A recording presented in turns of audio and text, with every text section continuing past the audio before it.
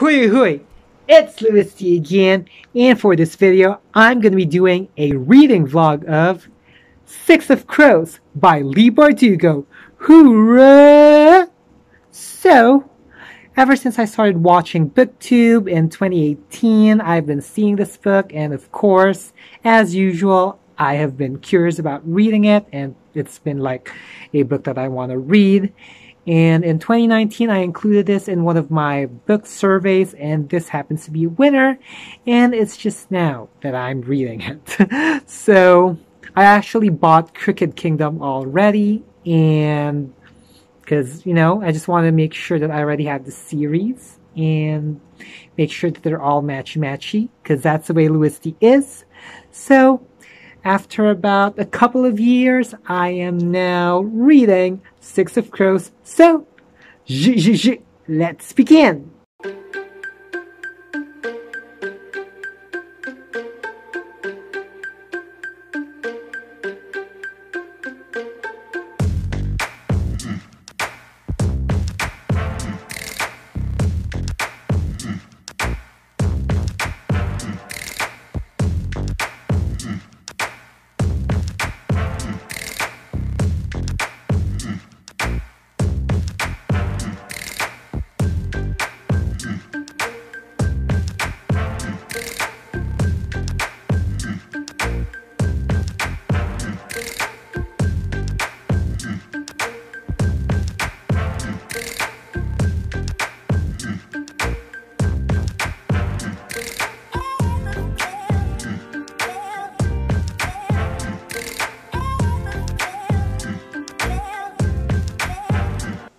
So I just finished reading the first three chapters of Six of Crows, and honestly,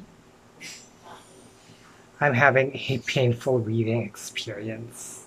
Like, to me, like, the narratives, the way they're synthesized, they don't really make sense. And here I go again with a whole, like, this is the narrative, and then this is me, and then there's some sort of, like, a wall that's, like, you know, blocking it like to me, okay, so what I'm getting so far is like there's Joost and they kind of try doing this thing and with Anya, who they thought was a healer, but like a hard something, you know?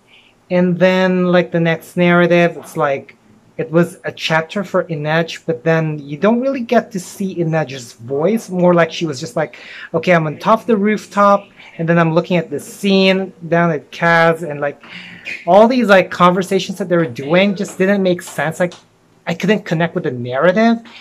And there was just this like one little scene of that chapter that was like, okay, all right, that was something that I kind of felt that was kind of cool.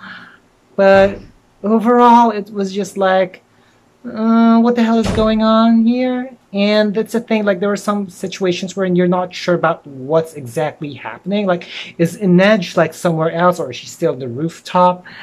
And like with Kaz, you know, with the whole it was he chained or not because he can kind of like move. There's something wrong with the way that you know the narratives were synthesized. That to me, it's like it's just bringing me a painful reading experience. I hope it does get better. And I just saw like the second book in the King of Scars or the Nikolai uh, series of Leigh Bardugo. And the cover is like light brown, and y'all know how I feel about the color brown. It's my favorite color. But you know how I feel about this book so far. It hasn't been really that great, so yeah. Okay, let me elaborate about the I can't see Inej's voice in that chapter. Now, to clarify, the second chapter's title is Inej, so I was expecting it to be seen in the perspective of Inej and her being in the narrative of that chapter specifically, but most of it had to deal with Kaz, and to me, like as a reader, I just don't think that that was supposed to be Inej's perspective because you can only just see like, oh, Inej and like here's my TV screen, which, like I said, it's kind of a mess. Like you don't know in what position she is on the rooftop, or you know, uh, it, it it just discombobulated me. trigger warnings for animal cruelty. Now, the scene where they captured Matthias is the one that when the narrative or the story started to become clear and where I felt like I was slowly being immersed in the narrative. Um, but overall, still, I do have concerns about how the narrative is synthesized. It's like I don't really think that I'm getting where the narrative was able to give me an experience where I understand the um, background of why these people are being captured. It's as if like you're just being thrown into like where they are, and then suddenly here we get to capture them. For some reason now I get to see the pictures or the images clearly, um, but still it's like every now and here's another thing that I'm you know, that, that I've noticed ever since I started reading this book that like there's a lot of people being thrown in in each scenes and, and like lately with like Inej suddenly appeared and uh, Muzzen suddenly appeared like the way these people appeared the transition wasn't like vivid you know?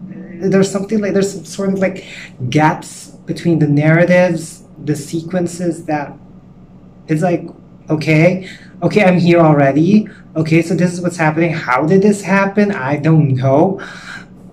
Mm, but i would say that compared to yesterday i had a little bit of a better experience and i'm hoping that the momentum sustains throughout um, when i read the pages. I still have quite a long way to go. I just reached the second part of the book. And yeah, right now the pictures are or like the scenes are vividly you know expressed, and you know it's synthesized in a better manner, but still not, you know, there are still times when it's just not captivating enough. Um, sometimes it doesn't make sense. Although these uh, recent pages that I'm reading now that I'm in the scene with between Nina and Matthias, uh, it's a bit a little bit more captivating than how the earlier chapters were. Um, and I hope it does get better, but the fact that I had that experience at the beginning, uh, it's not really, it's not really good. And I'm still also another thing is that I'm still wondering how all these things have like you know kind of like a contribution to the overall you know narrative of the heist. You know um, actually I did kind of rant to like my Philborgs group and said like I've read the second chapter and so far I'm wondering why isn't it captivating? And somebody said it's a character driven book. And I'm like oh no. Oh no and to me it's like what I care about with books that if it's character driven the situations or the circumstances they're in and how to me they help in building up the narrative. But if it's just like telling you a story of like what this character has been through and like the situation doesn't seem to, you know, contribute or pile up to the uh, the overall narrative of the story, then I'm like, what am I reading? Like an anthology? Hopefully this book gets better, but in terms of how it progresses, it's quite slow. I mean, in terms of how it becomes more captivating. Okay, another reading update, and I'm already in like page 161. And again, it's boring. The only thing that I got is that Wylan was hired, or rather became a part of the group, but it seems like he is not the most skilled for the heist. That's all that I got, and the rest you know, the whole thing about the Pika or Pekka Rollins revelation. My gosh, I get tongue tied. Yeah, just the story so far isn't captivating. So far, what I got is that Kaz has a brother named Jordie, and they were just kind of like talking about, you know, his life with his brother Jordie. And there was a scene wherein they were doing some strategies and how they're to figure out and getting into the temple or I think the ice court, you know, I could care less because the narrative itself is not captivating. You know, I'm honestly like lost and, you know, so far this narrative isn't just hooking me in. All I'm just getting is like Nina was, oh no, not Nina, Inej was injured and Nina was kind of like taking care of her and they were having all these like conversations and all talking, talking, talking, talking, talking And no, I'm just like, this isn't exactly what I signed up for. I, it's, I wasn't really going on for like, you know, a day in the life of whatsoever because to me it's like, it's not really, I don't, I don't think that these like things are contributing to the narrative other than they were trying to fit. I don't know. I'm, I'm just like honestly having a painful experience reading Six of Crows. I'm honestly like wanting to stand uh, like some K-pop idols lately. Like honestly, I put down the book and then I would end up like standing um, SF9. You know, I really love their uh, song, uh, "My Story, My Song." I've been like putting it up on loop in YouTube, and also, you know, been kind of going back to 17. You know, I've been, you know, standing again. And uh, y'all know if you saw some of my previous videos, you saw that I am a Carat. I actually filmed a video about recommending books to 17 members. And yes, the Carat in me is coming out again. And I'm just going to get a coffee bun. And I'll just catch you folks soon. So here's my coffee bun.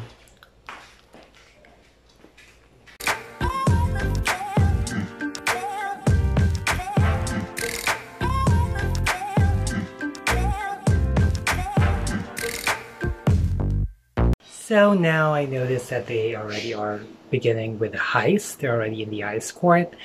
And then they flash back to Kaz's story uh, with Jordie when Kaz fainted.